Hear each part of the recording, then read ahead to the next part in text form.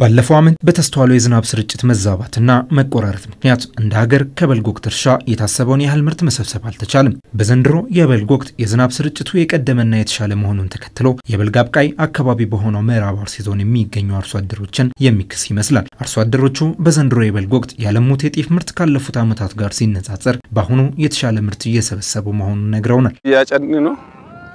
ምርቱም በጣም ምርጥ ነው። ያው ከአንድ ሄክታር ያው አንድ አስራ ሁለት ኩንታል እናገኛለን።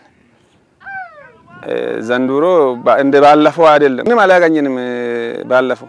ዘንድሮ ግን እያገኘን ነው፣ በደንብ እያገኘን ነው። በረርቤ ባዬ ጉዲሴ ኡመን አካባቢ አርጋኔት ባለፈው ዓመት ህዝቡ በልፋቱ ልክ ምርት አልሰበሰብም። ዘንድሮ ግን ተክሰናል።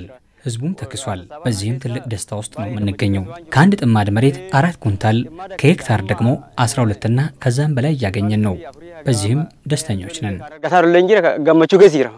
አርሶ አደሮቹ ከሰበሰቡት አጠቃላይ ምርት ከፊሉን ለገበያ በማቅረብ ለመኸር እርሻ የሚያስፈልጋቸውን ግብዓት ለመግዛት አቅደዋል። ነገር ግን ለሰበሰቡት ምርት የገበያ ትስስር ማጣት ብሎም የገበያው አለመረጋጋት ትልቅ ስጋት ደቅኖባቸዋል። ዘጠኝ ሺህ ብር ነው ገዝተን ጤፍ የዘረ ነው። አሁን ግን ለገበያ ስንዘጋጅ ግን ይወርዳል።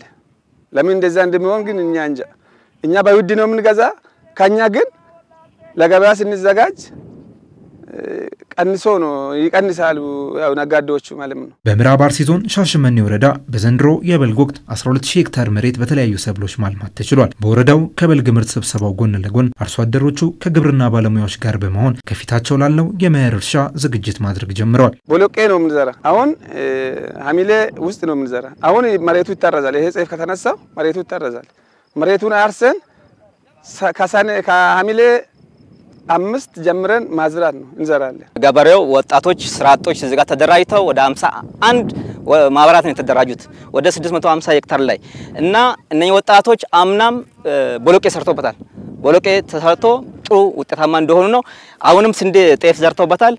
አሁን ጤፍ ተነስቶ ከሐምሌ አንድ ጀምሮ ቦሎቄ ይዘራል ማለት ነው እዚህ አካባቢ። ባለፈው የምርት ጊዜ በነበረው የዝናብ ስርጭት እጥረት ምክንያት ለድጋፍ እጃቸውን ዘርግተው የነበሩ ወረዳዎች በዘንድሮ የበልግ ወቅት ያገኙትን በቂ ዝናብ እንዲጠቀሙ ለማስቻል ድጋፍ ተደርጓል። በዚህም በራስ አቅም የምግብ ዋስትናን ከማረጋገጥ ባለፈ ለገበያ የሚውል ምርት ማቅረብ ተችሏል።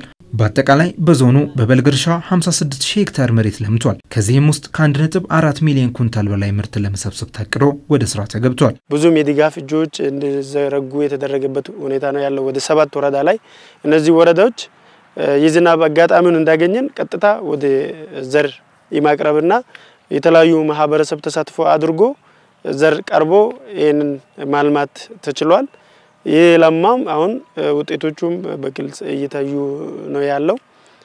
ከዚህም ወደ አንድ ነጥብ ስድስት የሚሆን ኩንታል ሚሊየን እናገኛለን ብለን አቅደን እየሰራን እንገኛለን። በአሁኑ ሰዓትም ያንን እያነሳን እንገኛለን። የዞኑ ግብርና ጽሕፈት ቤት ኃላፊ በዞኑ በበልግ ወቅት የተሰበሰበው አጠቃላይ ምርት የምግብ ዋስትናን ከማረጋገጡም በላይ የተስተዋለውን የገበያ አለመረጋጋት በመቀነሱ በኩል ትልቅ ሚና ተጫውተዋል ብለዋል። ማህበረሰቡ በተለይ የምግብ ዋስትና የተባለውና የዋጋ ንረቱን አሁን እያሻሻለ ይገኛል። በራሱም አካባቢ የሚበላውን አግኝቷል። ለእንስሳቱም ጥሩ የመኖ ምንጭ ሆኖ እያገለገለ እንገኛለን። በተለይም ጤፍ አሁን ብናይ ገበያ ላይ ሻሸመኔ ከተማ ወደ 6000 ብር አካባቢ ነው። 6100 6000 አካባቢ ይገኛል የበልግ ሌሎች ቦታዎች ላይ ከዚህ በላይ ከፍ ተብሎ ዋጋው እንደሚወራ እየሰማ እንገኛለን። ያ የነበረውን ዋጋ አሁን እየቀነሰ እያሻሻለ ይገኛል። በኦሮሚያ ክልል በበልግ እርሻ በአንድ ነጥብ ሁለት ሚሊዮን ሄክታር መሬት ላይ የተለያዩ ሰብሎችን ማልማት የተቻለ ሲሆን በቂ ቅድመ ዝግጅት መደረጉና የዝናብ ሁኔታው ጥሩ መሆን በዚህ ልክ ሰፊ መሬትን ለማልማት ምቹ ሁኔታ መፍጠሩን የክልሉ ግብርና ቢሮ ምክትል ኃላፊ አቶ በሪሶ ፈይሳ ለፋና ቴሌቪዥን ተናግረዋል። ጤፍም እየታጨደ ነው። ስንዴም ቀጥሎ ሳምንት ይታጨዳል። ቦረና ጉጂ እንዲሁም በምስራቁ ክፍል ደግሞ ምስራቅ ሐረርጌና ምዕራብ ሐረርጌ ማሽላ መዘራበትና አልፎም ይሄ ማሾ የምንለው ዘራበት አግባብ ነው ያለው። እሱ ጥሩ ንቅናቄ ነው ዘንድሮ የተፈጠረው። ሁለት መሰረታዊ ነገር አለው። አንደኛ እኛም የተዘጋጀንበት አግባብ አለው። ሁሌም እንዘጋጃለን፣ ግን ዘንድሮ በተለየ መልኩ።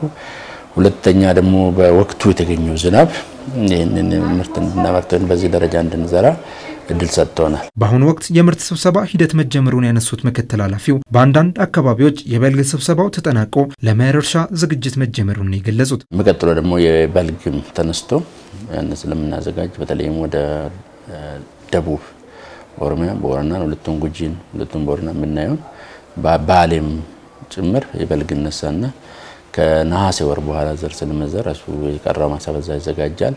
ምዕራብ ክፍል የምናየውን ጅማን አካባቢ ይሄኛው በቆሎ ተነስቶ ሌላ በሩዝ እና በሌላ ሰብል ስለሚሸፈን ያለው እንቅስቃሴ ጥሩ ነው እስካሁን ድረስ። እንደ ሀገር ከዘንድሮ የበልግ ወቅት 24 ሚሊዮን ኩንታል ምርት ለመሰብሰብ ታቅዶ ወደ ስራ መገባቱ ይታወሳል።